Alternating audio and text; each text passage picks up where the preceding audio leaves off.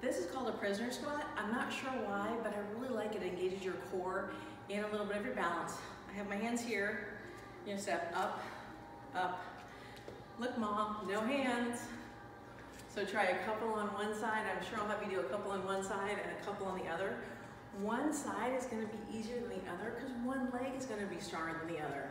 This is a prisoner squat.